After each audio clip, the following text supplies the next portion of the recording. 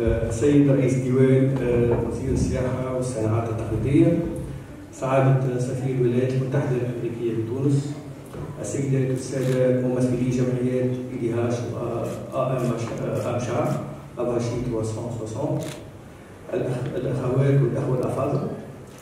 يسعدني في البداية أن أتقدم بجزيل الشكر للسيد رئيس ديوان وزير السياحة والصناعات التقليدية.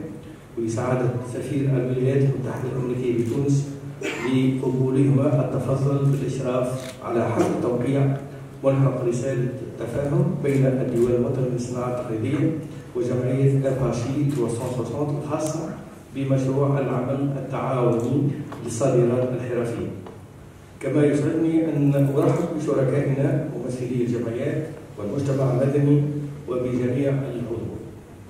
حضرات السيدات والسادة أن التعاون التونسي الأمريكي في مجال الصناعة التقليدية يعتبر مثالا رائع للتعاون المثمر وبناء أعطى العديد من النتائج الملموسة في ظرف وجيز.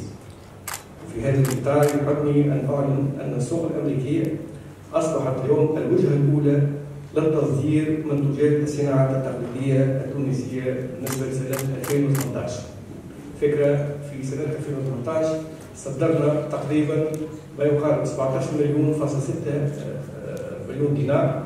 يعني 17 مليار و700 تقريبا مقابل 5 مليارات السنة اللي سبقتها يعني فما تطور بأكثر من ثلاث مرات ونص بالنسبة لصادرات السوق الأمريكية. وهذا يرجع بالطبيعه الفضل للعمل الكبير اللي قاعدين نقوموا به اتجاه هذه السوق. حضرات السيدة السادة لا يسعني إلا أن أتوجه بالشكر لمصالح السفارة الأمريكية في تونس ولبرنامج CLDP التابع لوزارة التجارة الأمريكية على حسن تعاونهم لفائدة قطاع الصناعات التقليدية.